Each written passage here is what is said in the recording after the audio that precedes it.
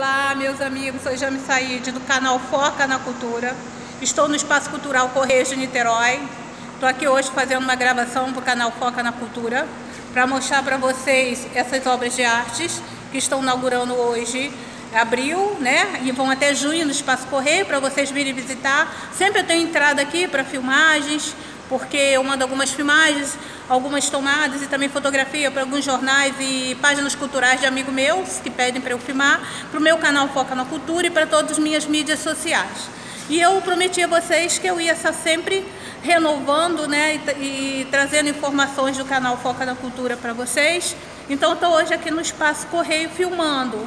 E também vai ter grande surpresa aí, que não foi só por isso que eu vim aqui hoje. Eu estou no Espaço Correio porque eu, a meu convite, uma grande escritora, né, que é do, do, nosso, do nosso meio, uma poetisa, ela também tem grandes obras de arte. Ela veio aqui hoje para ser entrevistada por mim. Já foi entrevistada, entrevistei algumas pessoas, em especial ela, que foi minha convidada. Breve essa entrevista estará no canal Foca na Cultura.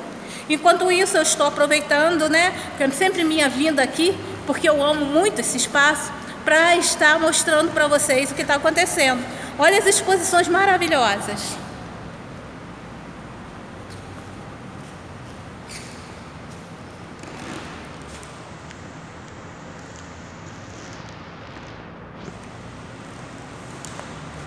Então, esse é o canal Foca na Cultura, está sempre atualizado, atualizando para vocês com notícias, com exposições, com shows, né?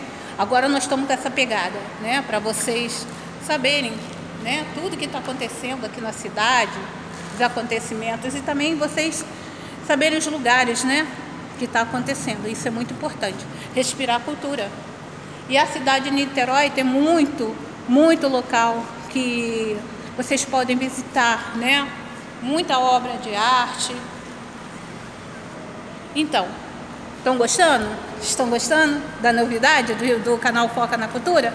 Então acesse o canal, que sempre no canal vai ter muita novidade para vocês. Tá bom? Um abraço, um beijo. Estamos aqui no Espaço Correio para vocês. Um grande abraço para todo mundo. Beijo.